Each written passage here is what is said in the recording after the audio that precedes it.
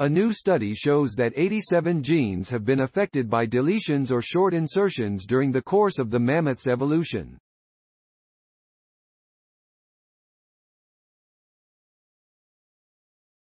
The researchers note that their findings have implications for international efforts to resurrect extinct species, including the woolly mammoth.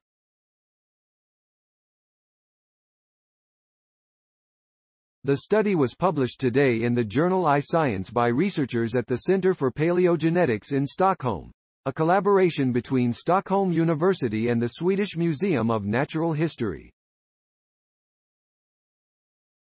One of the most widely discussed methods to resurrect extinct species is to use genome editing techniques such as CRISPR-Cas9 to insert key gene variants from an extinct species into a genome from its living relative.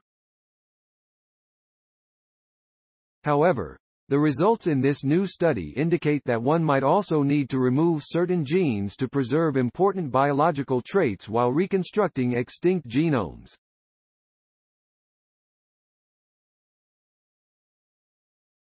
Editing the genome of a living species to mimic that from an extinct relative was never going to be easy, and these new findings certainly illustrate the complexity and difficulties that lie ahead, says Love Dalén, a professor of evolutionary genomics at the Center for Paleogenetics.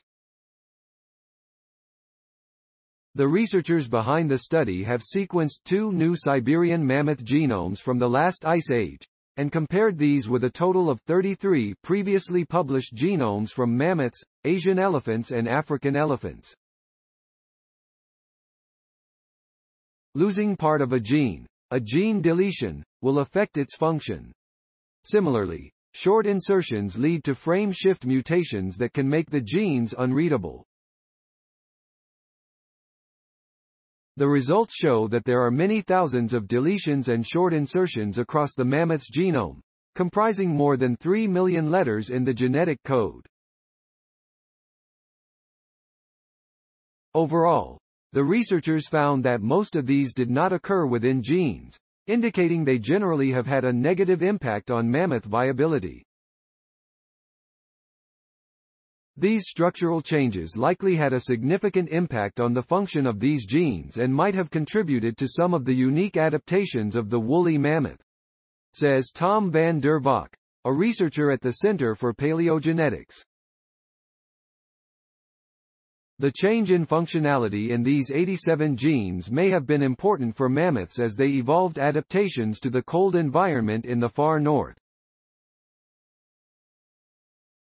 Several of the genes that have been affected are related to classic woolly mammoth traits such as fur growth and hair shape, fat deposition, as well as skeletal morphology and ear shape, says Marianne Dehasque, a PhD student on mammoth genomics at the Center for Paleogenetics.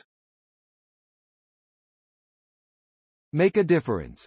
Sponsored Opportunity Story Source. Materials provided by Stockholm University. Note. Content may be edited for style and length.